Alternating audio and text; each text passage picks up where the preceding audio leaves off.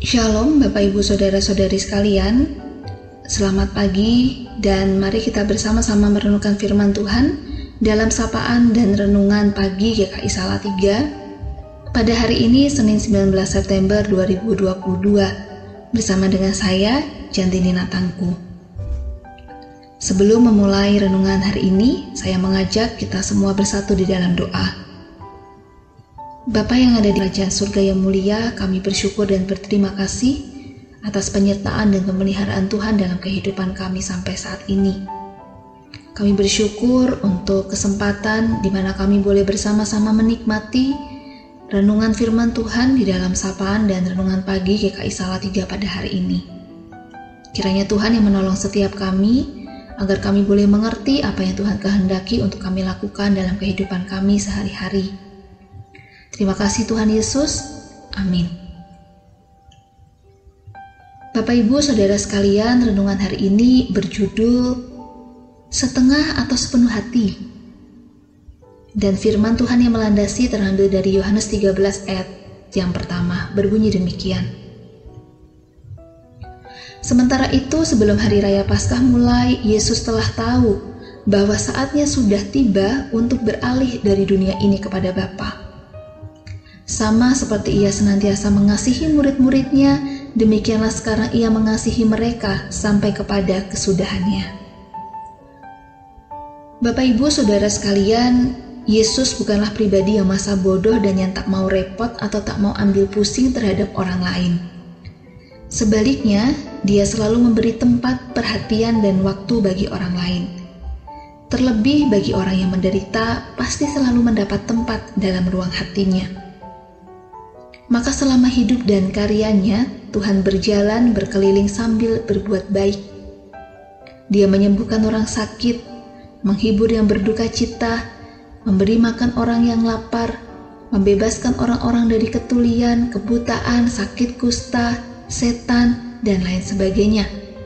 Bahkan dia pun menghidupkan kembali orang yang sudah meninggal. Yesus peka terhadap setiap penderitaan umat manusia entah itu penderitaan jasmani ataupun penderitaan rohani. Perhatian dan kepedulian Yesus terhadap orang lain tidak setengah-setengah, tetapi sepenuh hati dan menyeluruh. Bapak Ibu Saudara sekalian, dalam Yohanes 13 ayat pertama tadi menerangkan bahwa Yesus mengasihi mereka sampai kesudahannya Artinya dia mengasihi sampai detik-detik terakhir dari hidup dan karyanya di dunia. Di saat akhir hidupnya bahkan Yesus rela merendahkan dirinya dengan membasuh kaki para muridnya. Kaki adalah bagian yang paling kotor dari tubuh manusia namun tetap dibasuh Yesus. Bahkan biasanya tindakan pembasuhan itu dilakukan oleh seorang hamba namun karena kasih Yesus sangat besar, Yesus tidak memperhatikan batas-batas pangkat manusia tersebut. Kasihnya menjadikan dia pelayan manusia yang telah menunjukkan hati seorang hamba melalui tindakan mencuci kaki.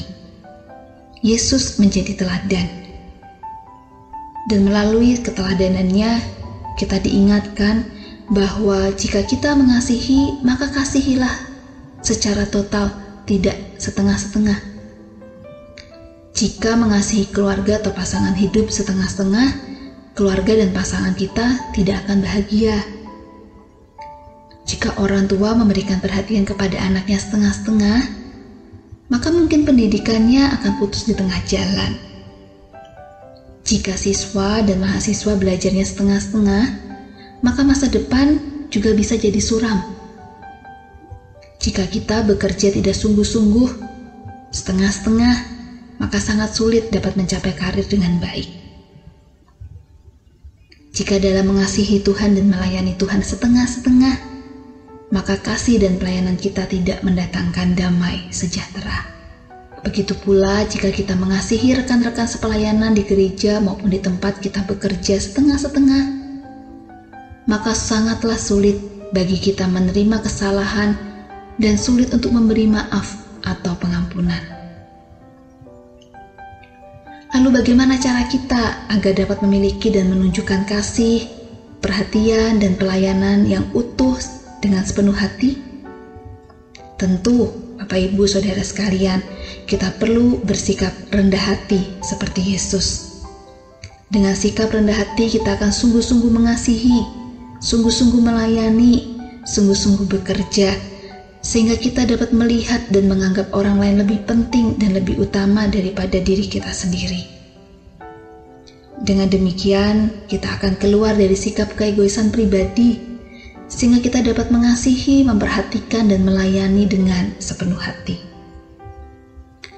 Bapak, ibu, saudara sekalian, Mari terus meneladani Yesus, tidak setengah-setengah, tetapi dengan sepenuh hati melayani orang-orang di sekitar kita. Kiranya Tuhan menolong kita semua. Mari kita tutup renungan kita di dalam doa. Tuhan kami berterima kasih dan bersyukur untuk firman Tuhan yang boleh kami renungkan bersama. Tolonglah kami agar kami bisa makin meneladani Engkau yang tidak setengah-setengah, melainkan dengan sepenuh hati melakukan pelayanan.